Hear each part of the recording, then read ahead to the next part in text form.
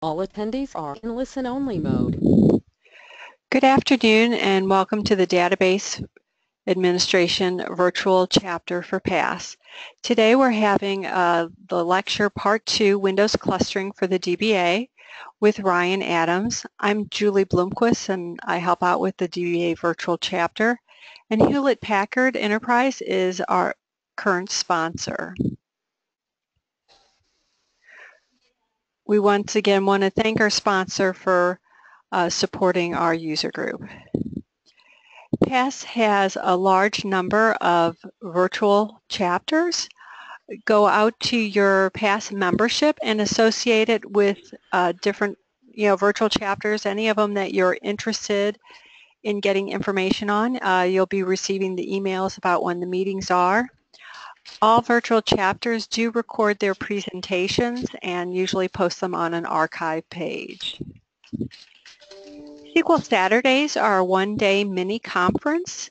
Here are some which are upcoming and they're held all around the world. It's a great opportunity to get a flavor of what a conference is and uh, get some uh, SQL education. It's minimal cost. It usually just uh, covers the lunch. PASS Summit is coming up. Uh, the pre-conference sessions are the 24th and 25th, and then the summit itself is the 26th to the 28th. Uh, the registration now is $21.95 until uh, midnight on the 18th of September. You can also save $150 off your registration if you use the, you know, our chapter code of VC15FPS6. For every 20 registrants using the code will receive one complimentary summit registration which we will raffle off in the fall. Uh, the PASS Summit is the premier SQL Server Education Summit. It, it's just amazing. If you've never been, it's a great opportunity uh, to get SQL education. There are Local chapters, once again, go out to your PASS membership. You can find physical chapters or you can go ahead and uh, associate with a virtual chapter. And if there's no physical chapter in your area, consider starting one up. There's a lot of information and documentation in the PASS organization will help get you started with a new uh, physical chapter.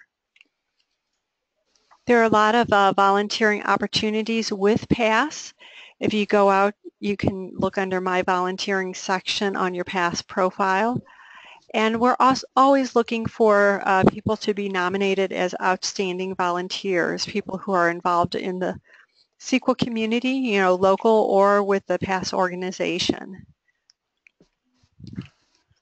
Stay involved with PASS. Here's the information for the LinkedIn, Facebook, Twitter, and the PASS website. Uh, once again, this presentation is being recorded and will be posted on our website, the DBA Virtual Chapter website under the archive page. So here's a little uh, information about Ryan. Uh, Ryan is a SQL Server MVP and he's worked for Verizon since 98. His primary focus is in the SQL Server engine, high availability, disaster recovery, Previously, he was a senior Active Directory architect and designed the company's worldwide Active Directory infrastructure. He serves on both the PASS Board of Directors as well as the Board of Directors for the North Texas SQL Server User Group, and he holds the following uh, certifications. And I'm just amazed he's able to also put together pre-conferences and lectures for the user groups. It's uh, greatly appreciated. Ryan, I'm going to pass the presentation over to you. Thank you, Julie. I appreciate that uh, very nice introduction there. Uh, can you see my screen all right? Yes, I can.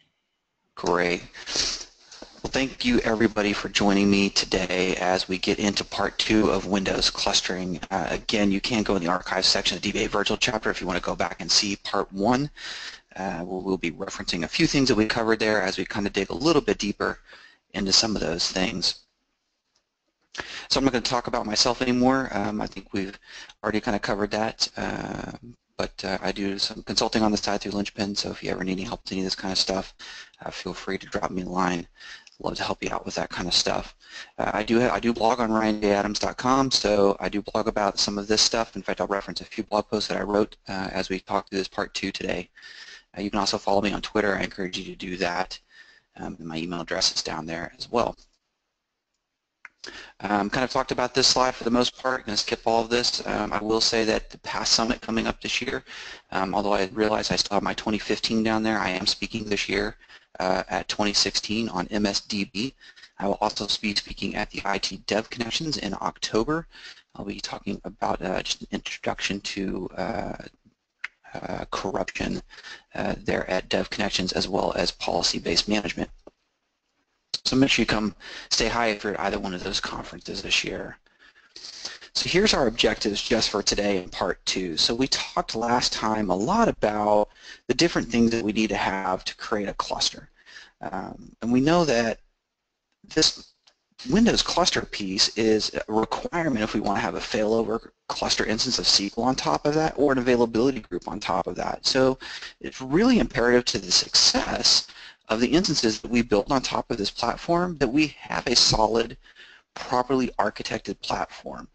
And if we plan for it up front properly and make sure that we have all of the pieces of information we need before we sit down and start the build of the cluster, we will be far more successful.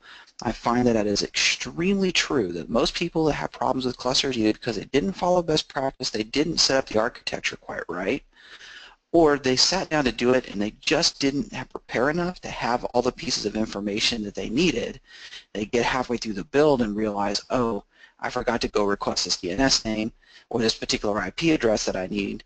Um, now I've got to go put a request into the IP or DNS guys for that, which is going to push the whole project back because it takes them X amount of time to get that done.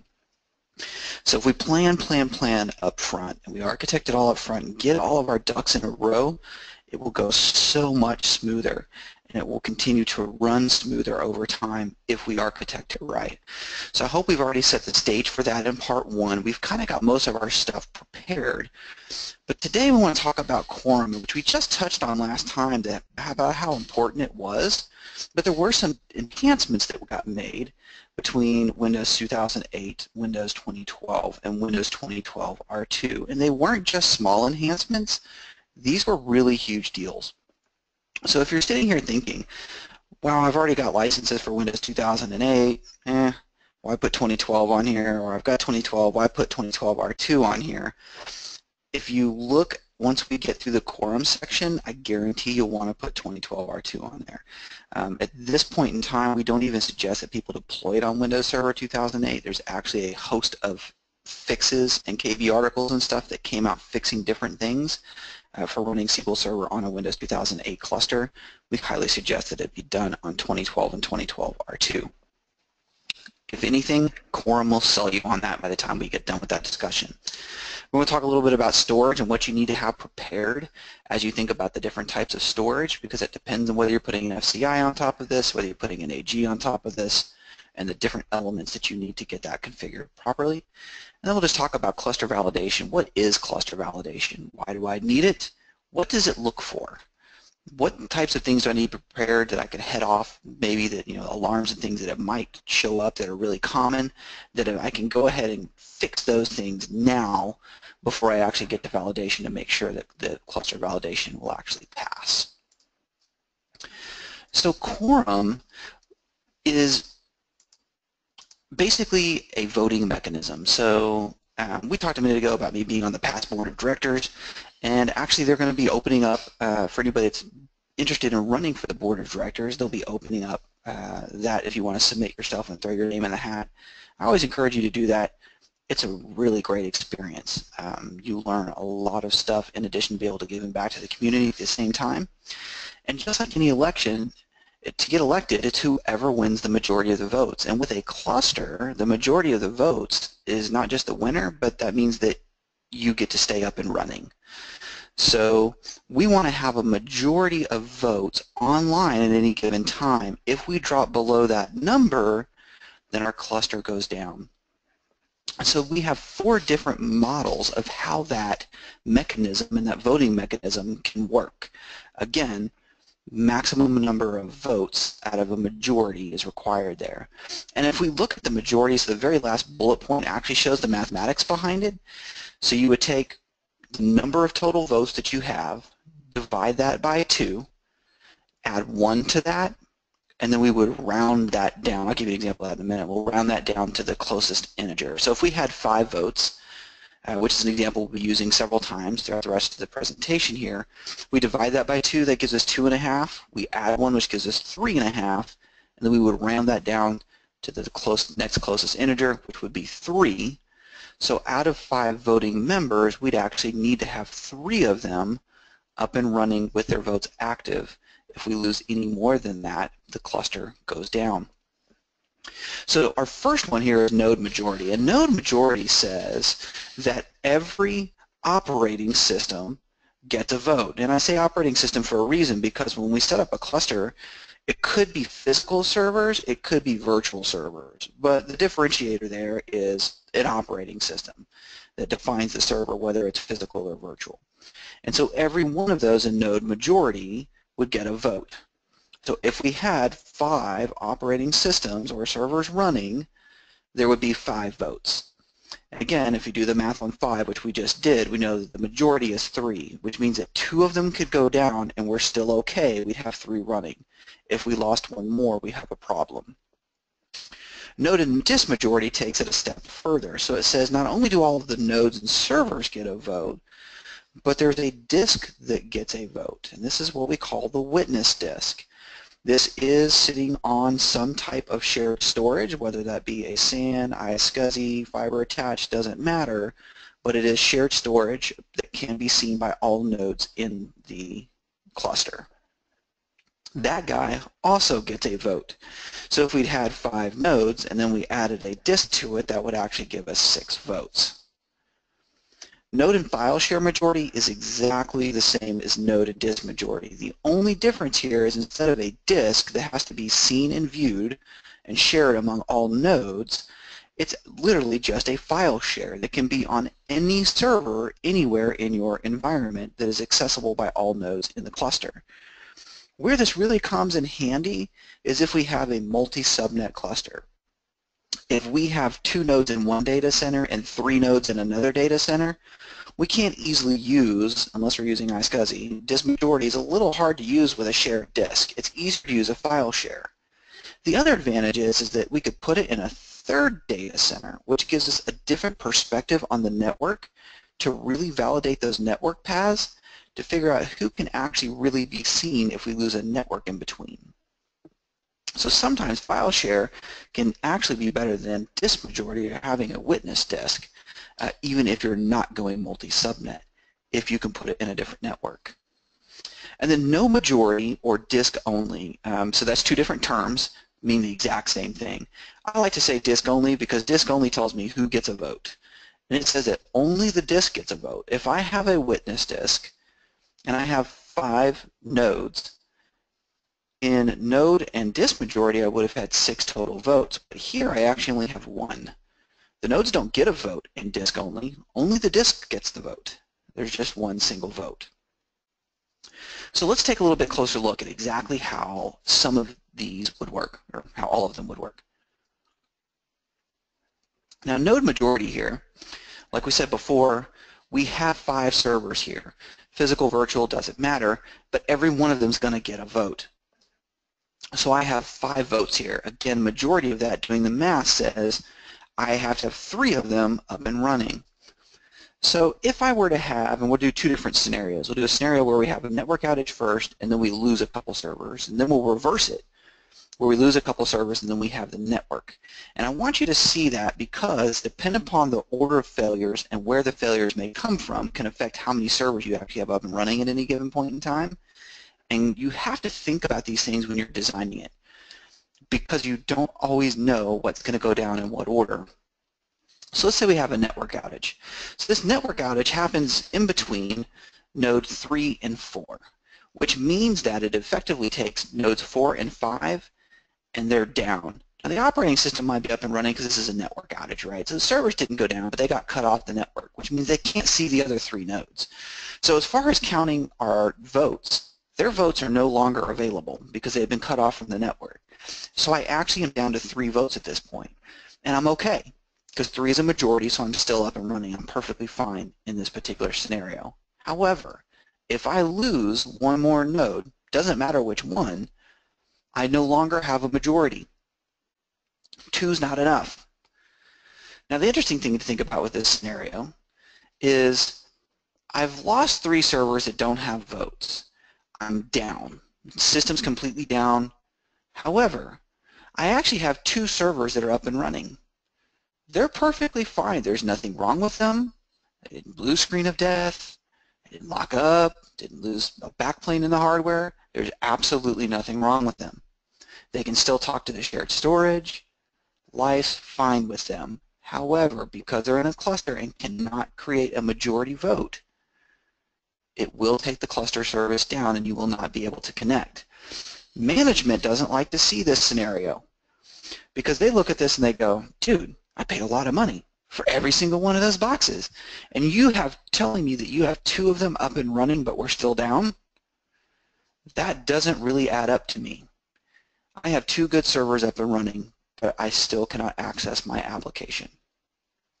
So that's a little bit, so keep that in mind because we're going to talk about a way to mitigate that here in a little bit. But that's a tough value proposition to sell to management. So now let's say that we have failures first. So if I have server 2 and 4 go down, I'm still okay in this scenario because 1, 3, and 5 are up, which still gives me my 3 votes, so my cluster is still up and running. But if that switch that went crap earlier and died on me, and he craps out again because he's really flaky, and he cuts off servers 4 and 5 from the network, now I'm down. Same scenario, still only lost two servers, still had the network outage, but because they worked in reverse and dependent upon which ones, notice that we took different servers down this time, and this point I'm actually down because server 5 has been cut off from the network, which means only node 1 and node 3 actually have a vote right now. Two votes is not a majority in this situation. My cluster is going to be down. So that's how node majority works. So let's take a look at node and disk majority. Same concept here, still have to have a majority of votes. The difference is, is that that disk down there that's shared, he now gets a vote. Now you'll notice that the line, it might be a little bit hard to see, but the line pointing to node 3 is actually yellow. The others are blue, and that's there for a reason. That line indicates that he currently owns the shared disk. Only one server at a time can actually own the resource and access that disk at any given time. Which is funny because we call it shared, but um, it's uh, unlike some of my younger, uh, uh my youngest daughter, this, this sharing actually is kind, nice sharing. Uh, only one person gets it at a time. Uh, but it's perfectly willing to share it to the other nodes. We just can't share it by accessing it and playing with it at the exact same time. So he owns it currently. So there's actually five no there's five votes here. There's four nodes and one disk. And because the disk also gets a vote, we have a total of five. So the majority here is still three. Now, if my network outage happens first, and that takes out nodes 1 and 2. They cannot see the rest of the network. The nodes 3 and 4 are still okay. Now, I have a lot of people look at this and, and, they forget that the disk is still down there at the bottom, right? So he's still connected, so he gets a vote. Nodes 3 and 4 gets a vote, so we actually have three votes here. Well, 3 is a majority, so we're still up and running. Now, if we lost another node, obviously we'd be having a little bit of a problem. So let's reverse that again, and let's say that this time we lose our servers first, and it's servers 2 and 3 that we lose this time. Now notice that server 3 currently owns the disk, but he goes down, so when he goes down, that disk has to move to another node. So I'm going to switch it. Now the first line is yellow. Node 1 now owns that disk. Great. And we're still up and running because the disk gets a vote, server 1 and server 5 both have a vote. That's three votes. We're still up and running.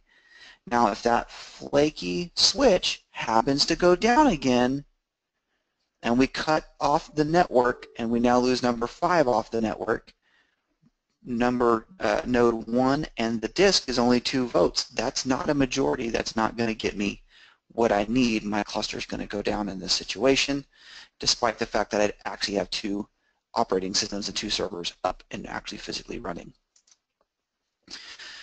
Node and file share majority is the exact same thing. And I'll run through this a little bit much quicker here, but it's the exact same scenario. A little bit of repeat never hurts. The only difference is, is instead of a shared disk, that's literally just a file share. Could be sitting anywhere. Could be sitting on somebody's desktop. Don't do that.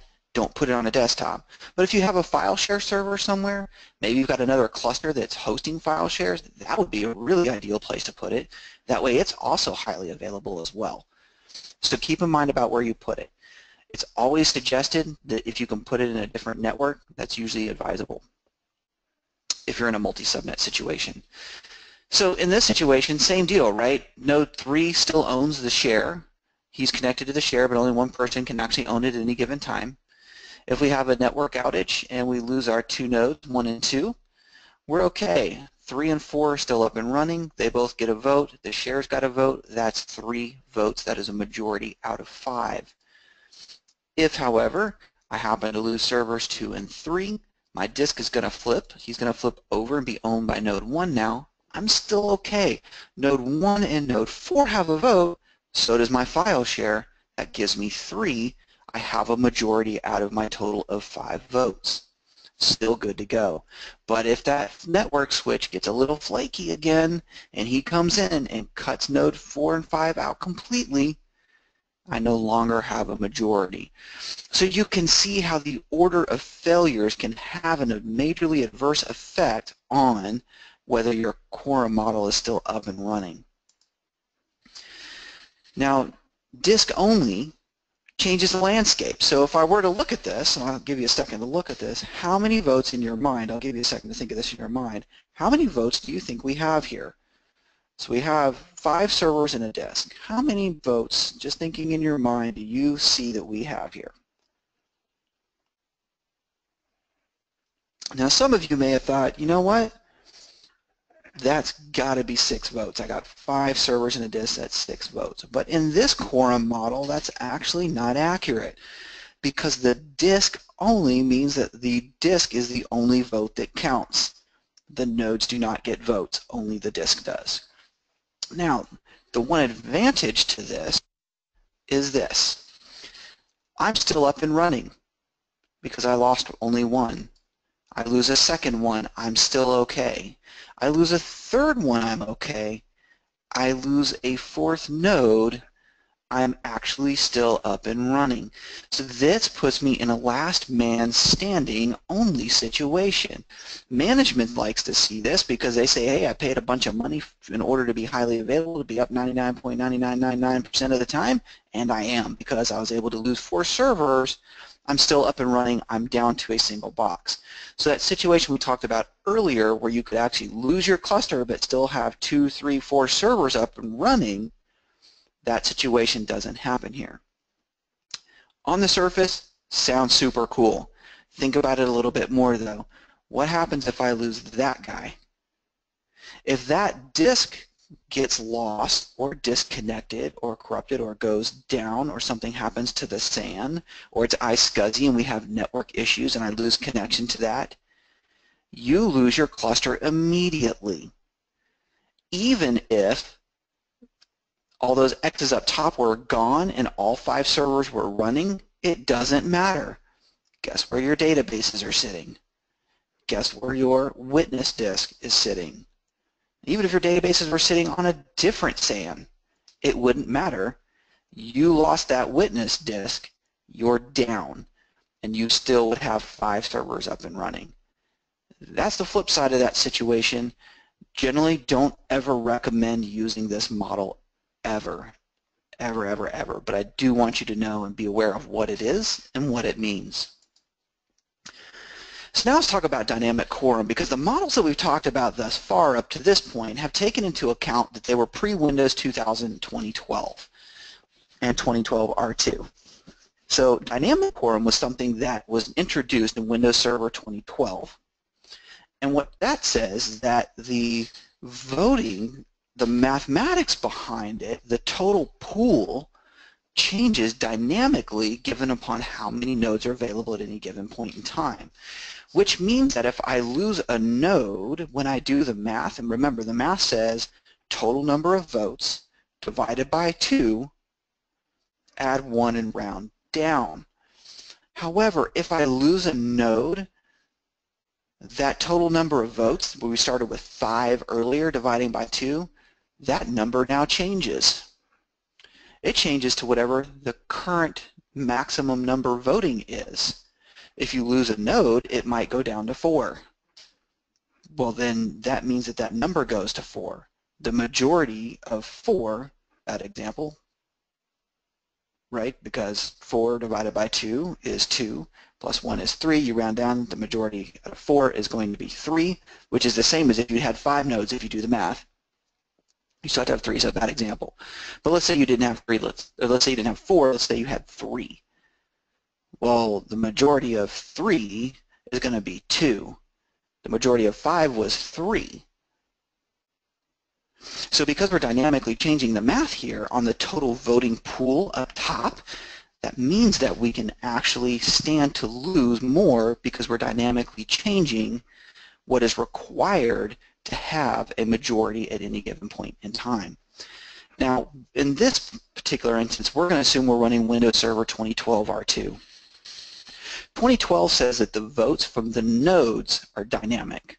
2012 R2 says not only are the nodes dynamic, but the disk is dynamic as well. So if you're running 2012, keep that in mind. That disk is not going to be dynamic. In 2012 R2, it will be. And I'm also going to show this to you in the demo in a little bit later so you can actually see how this works and where you can see all these numbers at. That way you can assess the current status of your cluster at any given point in time. But right now, if I'm looking at this, I actually have six votes here which if you think about it is a little weird because if you're familiar with quorum models and the voting mechanism, we generally don't ever want to have an even number of votes.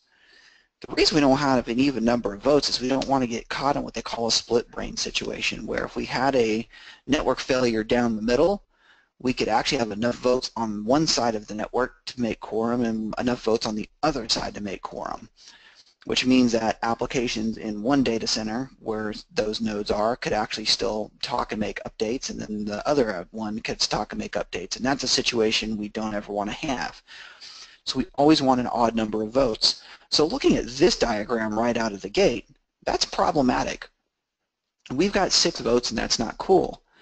And in Windows Server 2008, this would be a serious problem we would have been a definite incorrect architecture. However, this is 2012 R2. 2012 R2 is smart enough to go, we always need an odd number of votes. That's not going to work.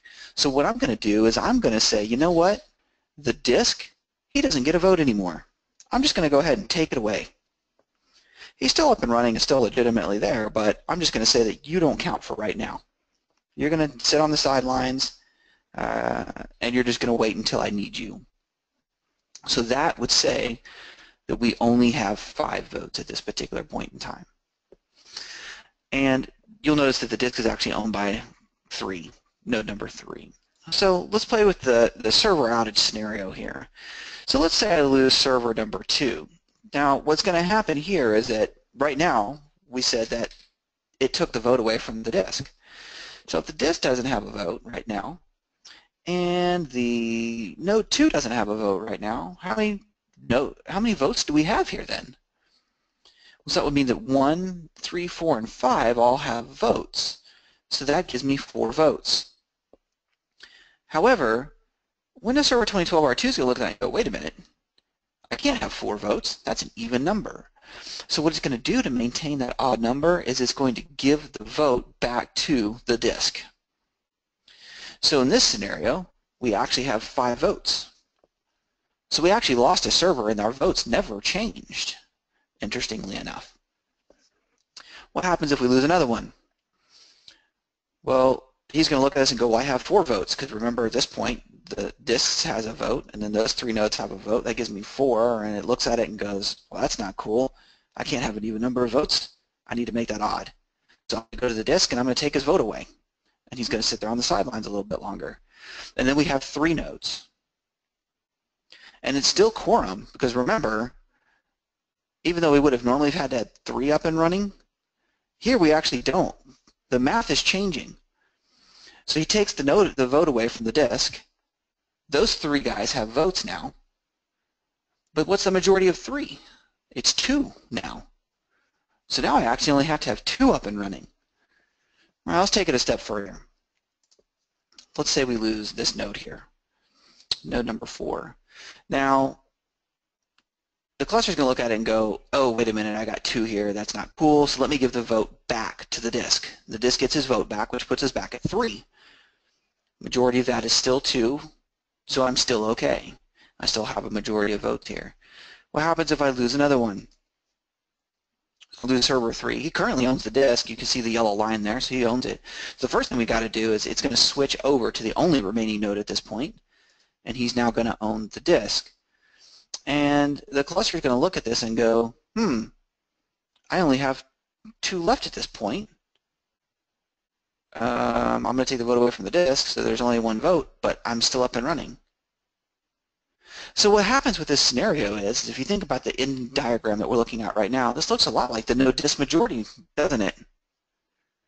So what's really, really cool about this is I can get all the way down to a last man standing situation without the risk of just having the disk go down. Because remember, with no disk, or with disk only, the disk was the only guy that got a vote. And if he went down, we were totally up the creek without a paddle. But here, we can still get to that really cool last man standing situation, which management loves to see because they paid all the money for all those nodes and servers, and we can actually don't go down until we lose our very last server or the storage. Obviously, if we lost the storage, we'd be down anyway, but we'd still be good to go. We'd still be up and running in this situation. So again, dynamic quorum came out in Windows Server 2012. Adding the disk to be dynamic was 2012 R2. If there is absolutely no other reason to go to Windows Server 2012 and 2012 R2, this is it. Because when it comes to high availability and you start looking at like, am I going to get two nines, three nines, four nines, five nines?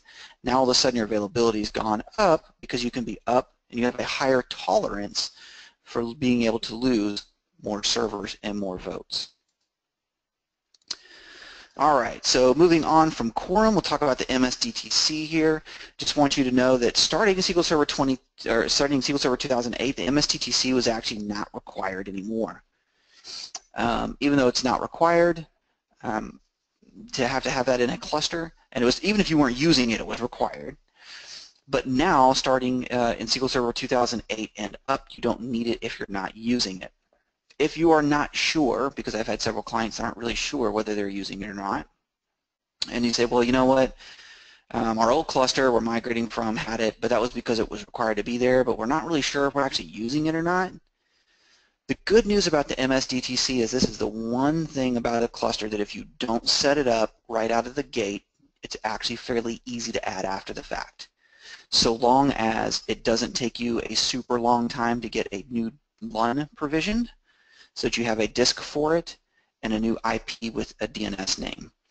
So long as you can provision those in a fairly decent amount of time, again, if you were migrating, we would normally always make sure that we put our test load on there and we tested everything out before we went production with it anyway, so we would know this ahead of time. But this is actually a fairly easy thing to add after the fact. For your storage configuration, one of the things they added in the operating system, uh, Microsoft added MPIO, so it's multipathing I.O. Typically, if you were going to use MPIO, uh, depending upon which vendor you were using, you would use the piece of software that they gave you to manage your MPIO. The negative to that was is if you were using, let's pick Hitachi, for example, there in the middle. If you picked Hitachi and you were running their software uh, in order to attach to their SAN, what if they needed, what if they updated it? and they had some type of uh, issue or enhancement to it and they put out an update to their software. Are you constantly checking to make sure that it got updated? Because if you're not, then you wouldn't know anything about it and you wouldn't be running the current version. So the nice thing about this is what Microsoft has done is they've essentially created a wrapper. And so NetApp, Hitachi, EMC, all these guys, the three that I've listed here, that's because, um, and I can add Commvault to that, but um, those are three that I specifically know for sure because I've used them, are supported through MPIO. That is not it. There's a lot more vendors that are supported through MPIO. Um, I just happen to know for sure that those definitely do. But the advantage here is, is that because Microsoft, you're using their version of it, if Hitachi and EMC make an update to it, they send it to Microsoft, Microsoft puts the update in their version of MPIO, and then you can get that down through Windows Update so you can remain updated all the time. If you're using iSCSI and you're connecting to iSCSI, you need to use dedicated NICs for that, and you cannot team them. So if you have two NICs running to your iSCSI storage, you cannot team those inside the cluster. Uh, but again, please use dedicated NICs. Um, we talked about that in part one, that one of the best things that you can do when you're creating your cluster as far as uh, you know, performance tuning and, and that kind of stuff is making sure that you separate every piece of traffic so that you get a greater overall throughput. Uh, disk configuration, as you're configuring these disks, you're going to need those to be NTFS because we're going to put SQL Server on them. You're going to want to make sure that you format those with a 64K allocation unit size and make sure that disk sector alignment is taken care of. That is handled automatically from Server 2008 and up, so you don't actually have to worry about that these days. So there are a few different storage needs. These are the things that you're going to need as you plan out your storage. Again, prepare, prepare, prepare. Make sure you have everything you need before you begin. If you're going to need a witness disk, make sure you plan to have a one and storage piece of storage for that. Make sure you have one for MSDTC if you're going to use an MSDTC. Uh, system databases for your data files and log files. Same for user data in log files. You're going to need some space for TempDB to put that somewhere. The one that I find people forget about most is depending upon how you're doing your backups, make sure you've got space to go put your backup somewhere. I realize that you just put this in this super cool, awesome cluster with dynamic quorum and you think it is never going to go down, so you don't really need backups because you have multiple copies of it and all this other kind of cool stuff. Please make sure you have backups. Step one of any HA or DR plan is to make sure that you have backups no matter how many other copies of your database you have out there you need to be sure that you have backup. So plan for some extra storage space for that. Uh, software configuration, you need to make sure that every node's identical. And what we mean here is that the operating system has to be identical. You cannot have a Windows 2012 node and a Windows Server 2008 node. They need to be running the same service pack and they need to have the hot fixes. When we talk about cluster validation here in a second, that is something that cluster validation looks at to make sure that you have. Um, AV software, if you're going to put uh, antivirus software on your server, make sure that you do your normal excludes. Microsoft's got a great KB article on this of the things that you need to make sure you're excluding from your scans. Uh, but in general, if you're looking at any of your data files, log files, backup files, or transaction log files, we want to make sure that we have exclusions in for those. And because we're on a cluster, we're also going to want to exempt both the witness disk and the MSDTC disk from that as well. Planning for firewall and ports. I'm just going to pop these up here so that you can look at these. You guys will be able to download the slide deck. I'll provide that. Um, actually, I think the slide deck might be available on my blog, ryanjadams.com. If you click presentations up at the top, I'm pretty sure it's actually already out there. You can download it from there. Um, that way you have this for reference and don't have to memorize this. But if you're in an environment that you've got a strict firewall, these are the ports that you're going to need. First one's going to be for your clustering service, and that's a service that runs on every one of these operating systems. that actually handles the cluster service itself and keeps everything talking, handles quorum and voting and all that kind of good stuff. Cluster administrator is the GUI piece that we actually open up to administer and take a look at our cluster, which we'll actually be looking at here in just a minute. RPC, uh, RPC is required for cluster and MSDTC. Security guys usually aren't really thrilled about opening 135 ever since the Slammer days. However, it is going to be required. And of course, SQL Server, right? So if you're running a default instance, 1433 of course. If you're running a named instance, then what you're going to need to do if you're running a firewall is you're going to need to go in and make that port static as opposed to being dynamic. Um, that way you can open that up in the firewall.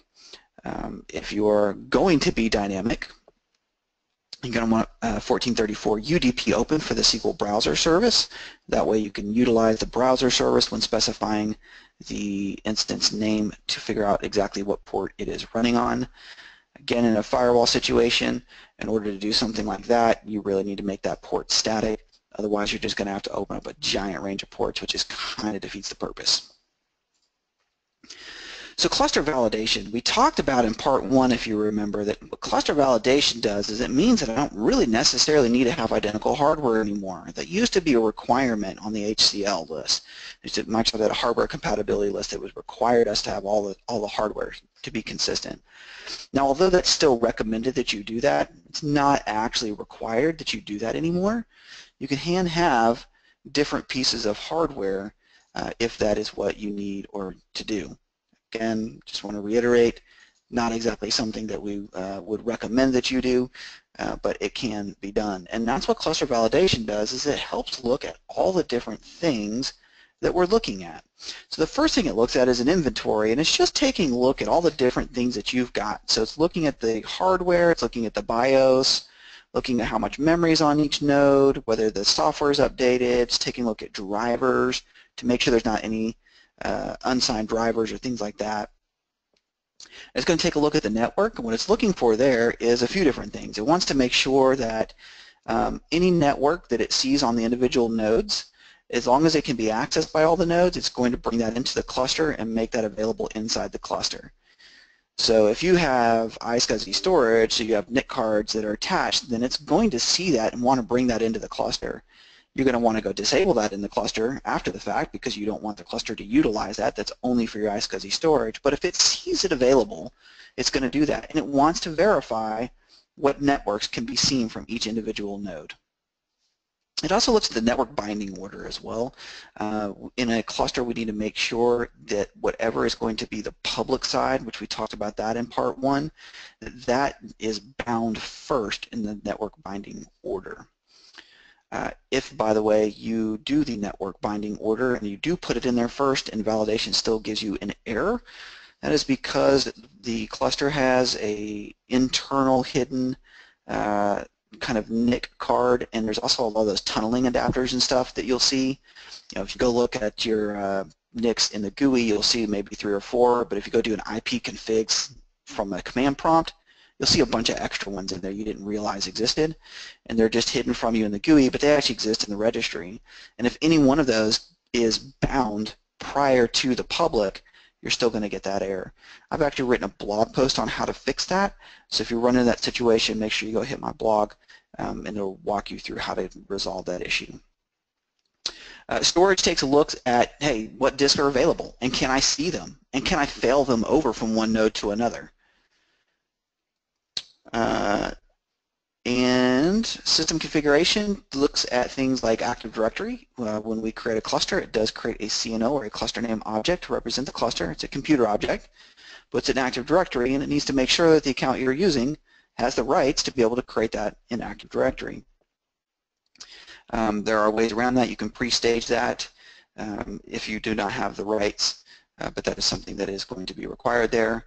And this is also where it looks for service pack levels, operating system edition, different versions, and all that kind of stuff to make sure everything matches up. Uh, just a few common validation errors. These are the ones that I just see that are the absolute most common that you'll run across software updates missing, looking for different patches, KBs, all that kind of stuff. It wants to do that. The great thing is, is when it does, it'll come back and say uh, KB 1, 2, and 9 were missing. I'm just making up those numbers, not legitimate numbers, right? They're missing off node 1, but node 4 is missing 12, 14, and 45. And node 6 is missing 72, 140, and 19. So it'll tell you in the report exactly which nodes are missing what and the KB article name so that you can go pull that down and make sure they're updated. So it's a really easy thing to solve if you get those warnings. Unsigned drivers. You want to update those. Um, if you have any unsigned drivers, it will report those and what they are and on what nodes. Um, I had a client uh, just this last weekend I was working on. Uh, they had the right proper driver on all of their nodes except for one that was unsigned, even though they were identical hardware and it was for a NIC card. Somehow they managed to get an older unsigned driver on there, so we had to make sure we got that updated. Uh, rights in Active Directory, which is I just described that to you there a second ago. Uh, if you're using an availability group that you're going to put on this, availability groups don't use shared storage. So the cluster itself on the Windows side, it has no idea what you're planning on putting on top of this cluster. You could be putting an FCI on it, failover cluster instance SQL Server, you could put an availability group on it, you could be running file share on top of it, you could be running Hyper-V on top of it, it has no idea what you're doing. But because that is the norm and typical ways to have shared storage, it will report that it doesn't actually see any shared storage and throw a warning at you. Again, still supported with warnings, perfectly normal to have that in availability group situation so you can safely ignore that. Network binding order, we just talked about that. It does check for that as well. So those are the most common issues and errors that I see. So a few post-installation steps. These are the things I always encourage everybody to do after you've created your cluster. Go rename your networks. That way they make sense and you know what they do. It'll really pay dividends when you have issues and you need to troubleshoot it later on down the road. Verify the quorum configuration. And I'm going to show you an example of that. So in part one, we actually built a five-node cluster, uh, and node 5 is actually in a different subnet. So it's a five-node multi-subnet cluster that we built in part one uh, a couple weeks ago. And so we're going to go take a look at the quorum configuration here in a minute of what it decided to do for quorum and why we need to verify that. We want to perform a failover. I see this time and time again. When you've completed your cluster, you need to fail over the cluster resources to every single node to make sure that they're running and successful on every node.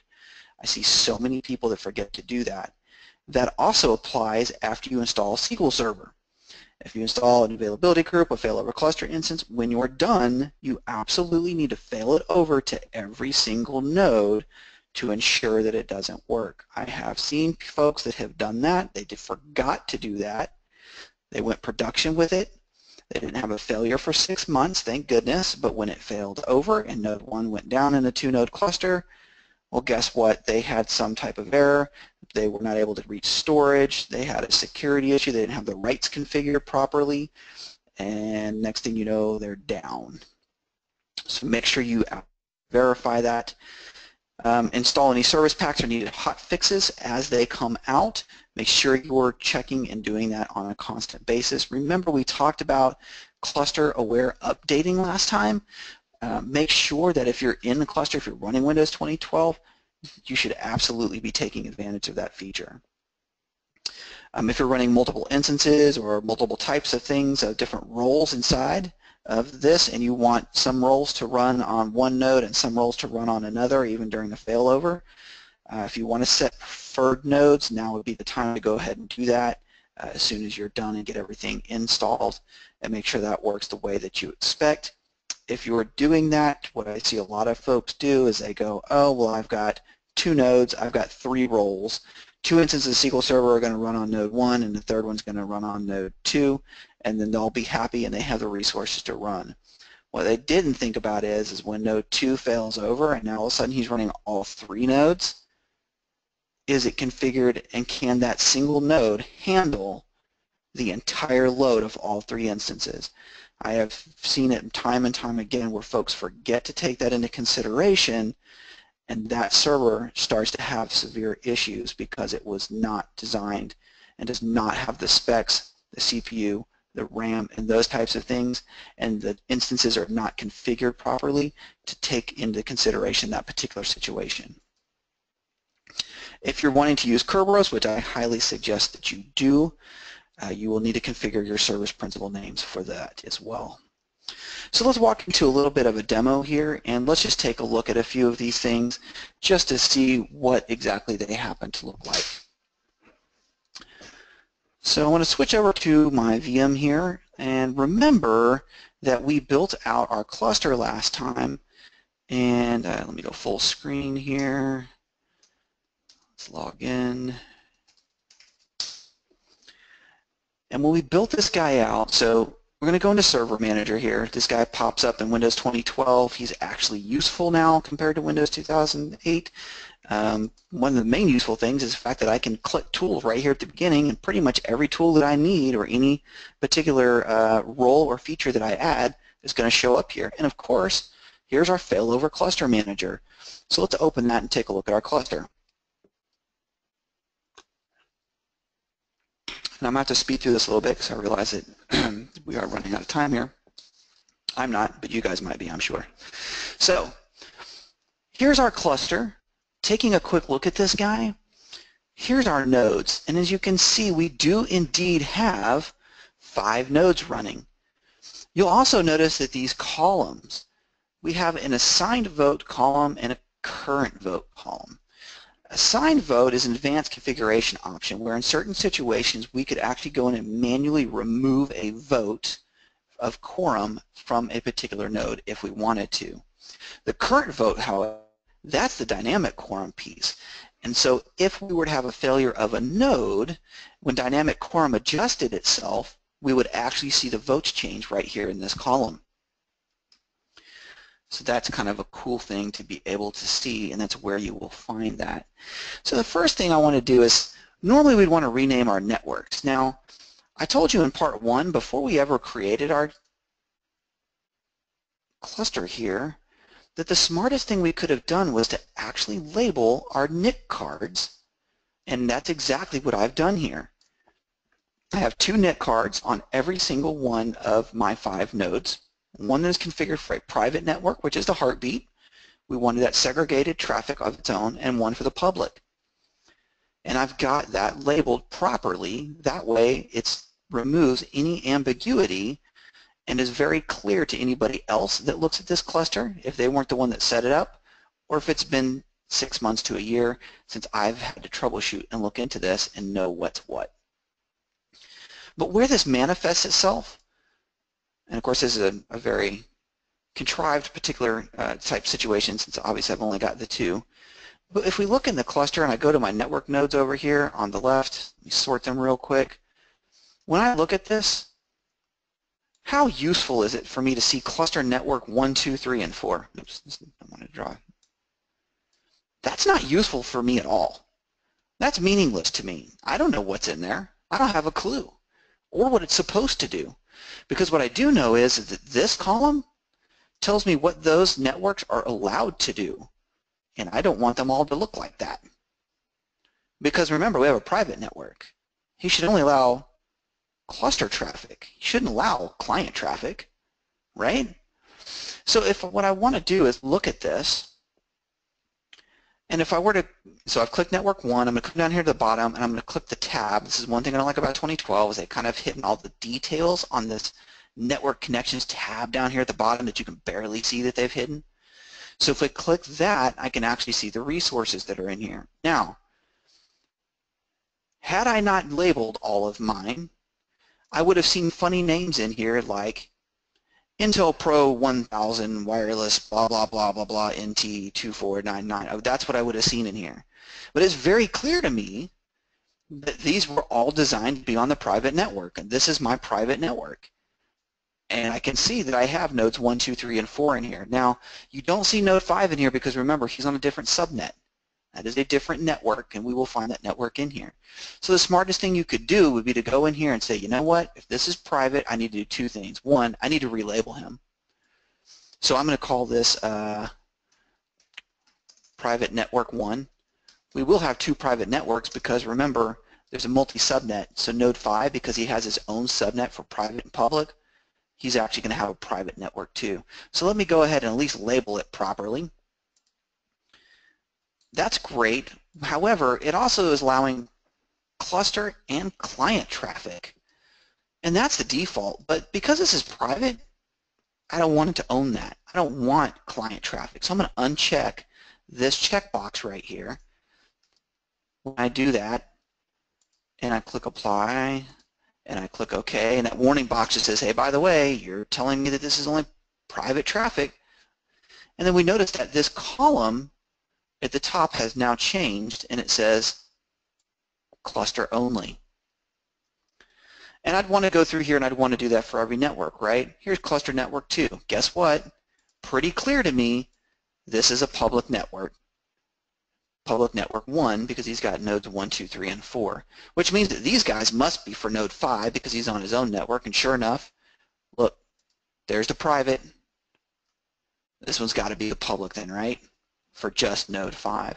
So I want to enable you know, public network 2 and private network 2. So then when you come back in here and you see these all labeled correctly, it's very clear what type of traffic is allowed on what network and what NIC cards on what servers are in that network. It makes troubleshooting so much easier that you will thank yourself in the long run, six months down the road when you have to troubleshoot something, that you took the time to do that now. So since we are running really, really short on time, I would have loved to have gone super, super long for another half an hour here and shown you more. But the most important thing I really wanted to show you, though, is I wanted to show you how dynamic quorum works.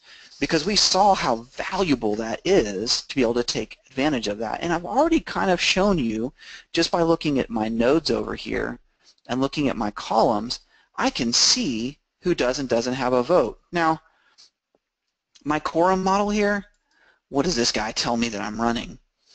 He tells me that the model that I'm running is that I have a witness disk.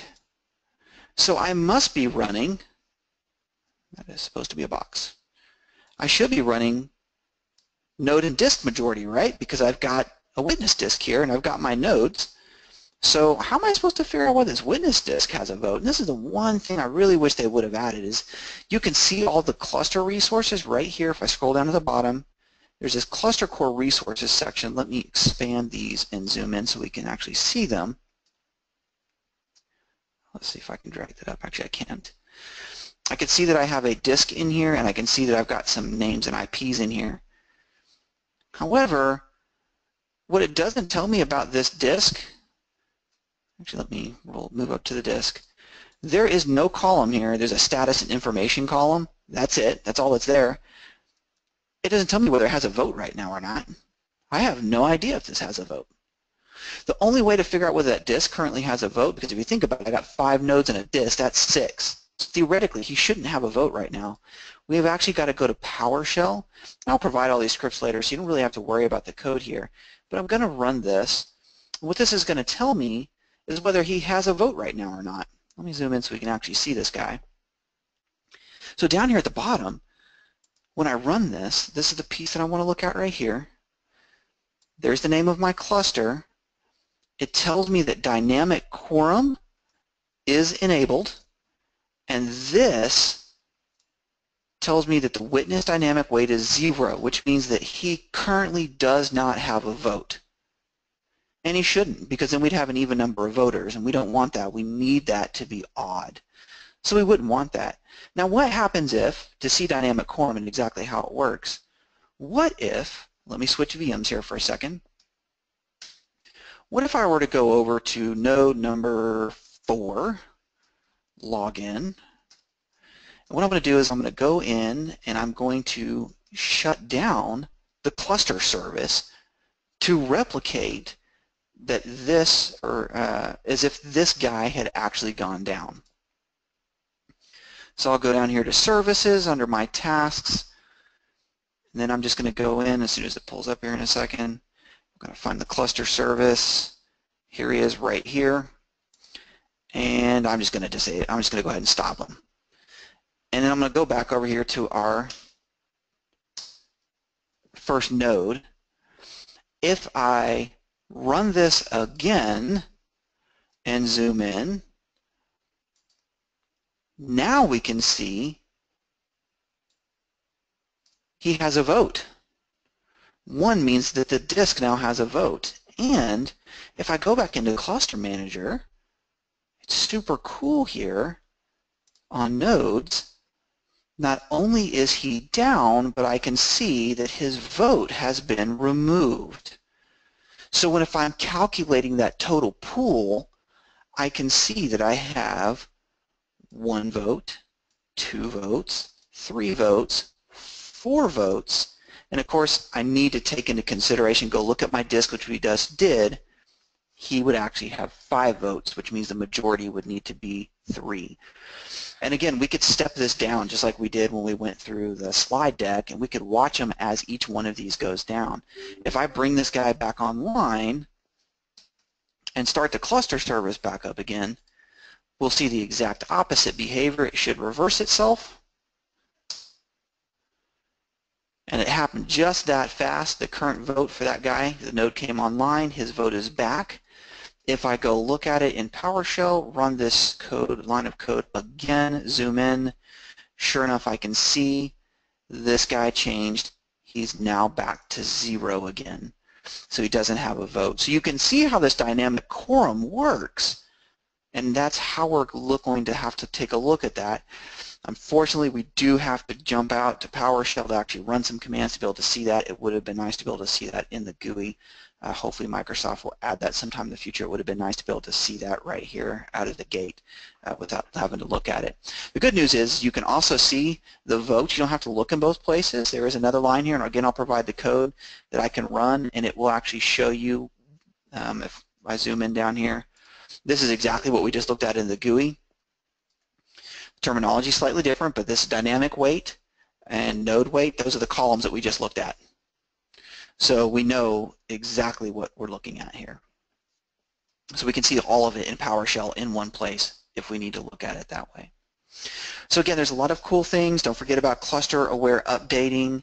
Um, there's a lot of things that we can do in here in regards to uh, server manager. We can do custom searches. We can do node draining and a lot of other cool stuff. Um, unfortunately, we didn't have quite enough time to get to those, and I apologize for that. Um, but with that, um, I'm going to wrap up. Uh, just a little summary here of the things that we talked about. We talked about quorum and storage and cluster validation. I hope you guys enjoyed this and got a lot out of this. Um, um I'm going to take a few questions here uh, for just a couple more minutes. Um, and uh, But any questions I don't have time to get to, I'm going to have Julie just email those over to me. So go ahead and put those in the chat box. And what I'll do is I'll write a blog post and I'll answer all those questions for you in a blog post. And then we'll announce that out. Uh, that way you guys can see all of that and make sure that we get all your questions answered. So Julie, if you've got a couple of questions, I can take a couple minutes. Um, and uh, answer just a couple of questions. There actually are no questions in the list. Whoops, here we go. Is the video going to be available later online? Yes. Uh, this uh, is being recorded and it will be on the archive page of the DBA virtual chapter website. Well, I guess that means I must have done an amazing job if there's no questions because everybody thoroughly understands everything, right? Yes, yes. I'm going to work well, on that I, assumption. I have a much better understanding of quorum. Here we go. Is there any best practices for service accounts running the cluster services or just local system? Uh, usually for the cluster service itself, uh, the default local system is perfectly fine. Uh, there's there's no major issue with doing that. If you're talking about SQL Server, however, uh, SQL Server Service, SQL Server Agent, those guys, that's a different story. You do want to use a domain service account for those. Uh, the best practice here is if you have multiple instances, and this applies anywhere by the way, even if you have 12 standalone SQL servers, don't use the same service account for all 12 of those servers because guess what happens if somebody locks it out or disables it or deletes it on accident? You just lost all 12 of your servers. Same with clustering. If you have multiple instances in a cluster, if that service goes down, it gets locked out, you lost them all. If they all have their own, then you've greatly reduced your risk factor because you only lose that one instead of a bunch. And it's, uh, Jason had another follow-up question, the shared disk versus shared file. Can you elaborate on best practice? Uh, repeat that again? Shared disk versus a shared file. I, I think that was, um, you know, when you can have the file system versus the disk.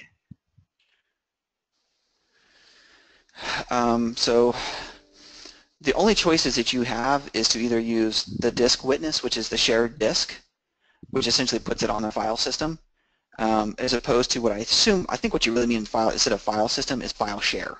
Yeah. Um, so with a file share, the only difference with a file share is just location. If you're in a multi-subnet cluster, you really need to have a file share. It's the only way to do it, um, unless you're going to do SAN replication or something like that, but you've really got to do that. Um, the reason because you can't talk to that. There are mul multiple different physical locations and, and, different subnets. You've got to have a file share sitting out there that both subnets can talk to. Can't really do that with a shared disk. So that's really where you want to use a shared disk is in a multi-subnet cluster.